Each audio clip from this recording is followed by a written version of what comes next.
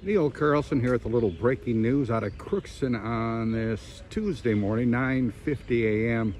This is at the University of Minnesota Crookston. We got a fire in a uh, dump trailer here, not threatening any buildings. Uh, fire department just uh, coming on the scene here. Show you that.